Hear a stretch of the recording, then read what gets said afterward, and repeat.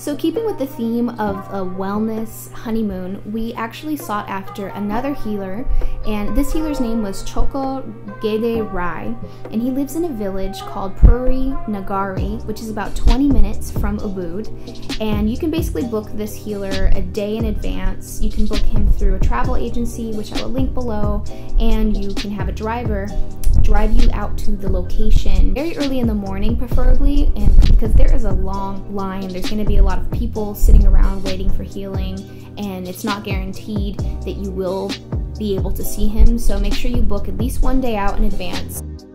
His services cost about 25 US dollars for the appointment. Make sure you dress appropriately. Do not wear a dress or have your legs exposed because he will be laying you down flat on your back and be doing healing work all over your body while people sit around you and observe.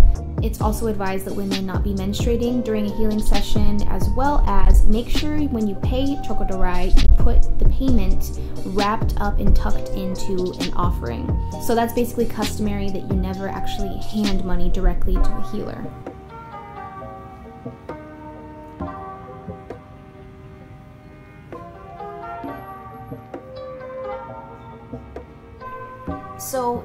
Healing body reading session with Tjokorda Rai is different for every single person who goes to see him. He basically focuses on reflexology and pressure points and um, energy healing through your auric field. He uses these sticks, and um, that's why my friends and I call him Stick Man. He actually presses the sticks into different areas of your body because different areas of your body uh, can be linked to other organs in your body. So there's a whole intricate system that I thought was extremely interesting in learning about when I had the healing session with him. So he basically gave me an assessment and a diagnosis on my whole life by looking in my eyes, feeling all around my neck and my shoulders. He pressed into different areas of my skull that caused a lot of pain. So he explained that pain correlated with different areas of my body and connected to different parts of my mind. So his main diagnosis for me was that I have a monkey mind and I need to learn how to calm my mind. And he did see that there was a blockage in my uterus and he asked me if I wanted to have children someday.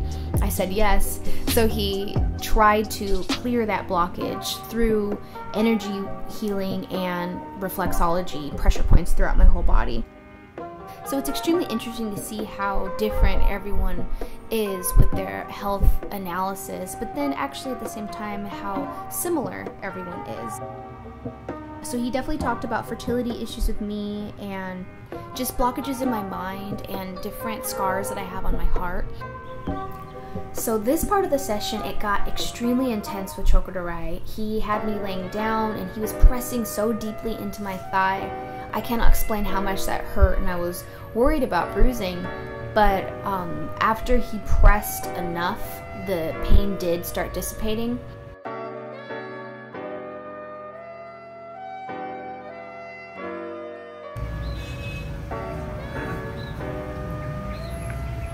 Very vulnerable in front of this live audience healing session.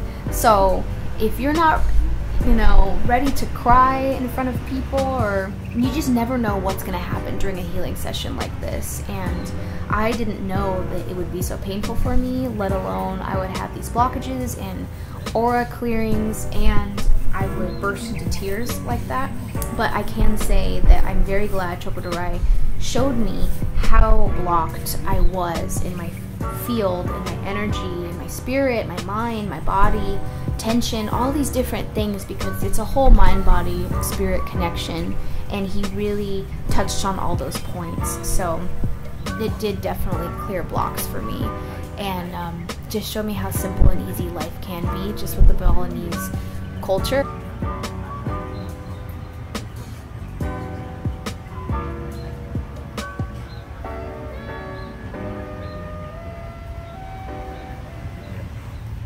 And then when he sat me up, he pressed the sticks into the sides of my toes, in between each toe. And that was excruciating. I almost screamed out loud and I I did burst into tears because the pain was pretty intense. And then I did ask him, how can I change my life and he said, You need to create a new personality. Look in the mirror every day and smile at myself and eat my smile. So that's just the cutest thing about Bali. Everyone is so focused on happiness and gratitude. Just smile. That's it. Just just smile. Everything will be okay. Time will heal and the smile is your medicine. Overall, it was an incredible experience. I highly recommend him. There was something about his spirit that made me uh, feel very calm and at peace. And I am going to include a little video here about what one of my best friends went through in her recent trip to Bali because she had a totally different experience.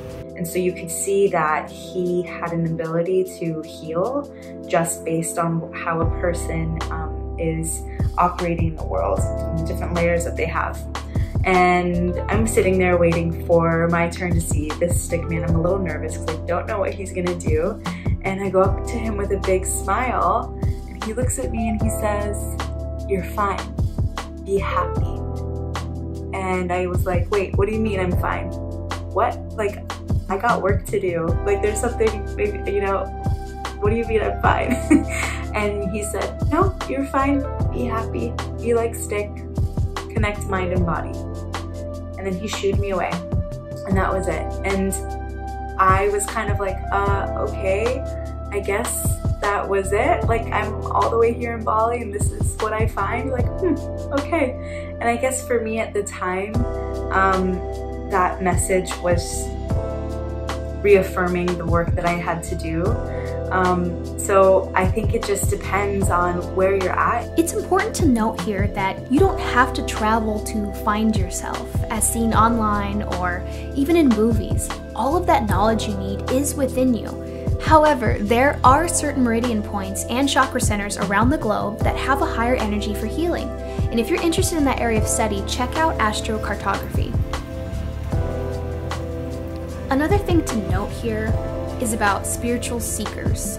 Sometimes different healing modalities get a bad rap because one could assume that seekers are so lost and just putting their power in someone else's hands and worshiping false idols, gurus, even black magic, disconnecting from God. But when you really investigate and deep dive into ancient wisdom, there are so many connections with modern science and ancient healing.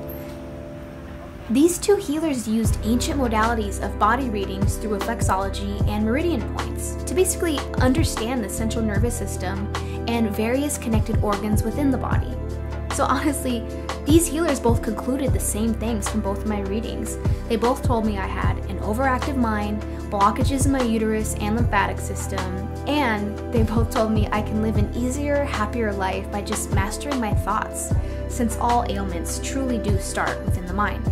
So rather than judging this stuff as woo woo or pseudoscience, I think visiting healers is a wonderful opportunity to learn more about holistic healing and different perspectives of overall human health from around the world.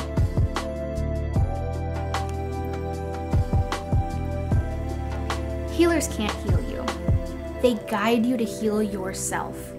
So meeting with a coach, a healer, mentor isn't gonna solve your problems. It's just an invitation to go deeper. So, if you like this video, please join me on my next episode as I dive deeper on my spiritual journey throughout Bali and explore various yoga studios. And I meet a Vedic astrologer who essentially changed my entire life and show me how I can use my natal chart to understand my unique energy using Vedic archetypes and symbols to create the proper diet and career path for myself, as well as navigate through tough upcoming life transitions. Don't forget to like, subscribe, and hit the bell as I upload new videos each week. Thanks so much for watching.